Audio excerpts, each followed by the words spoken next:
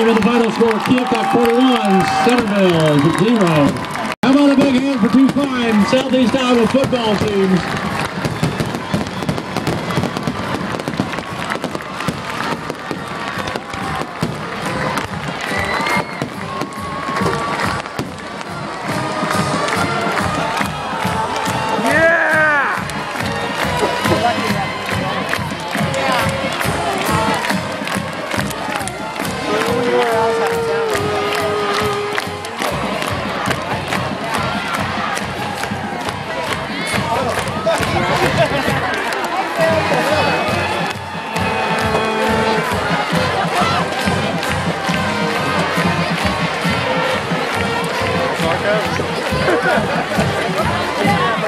Sorry.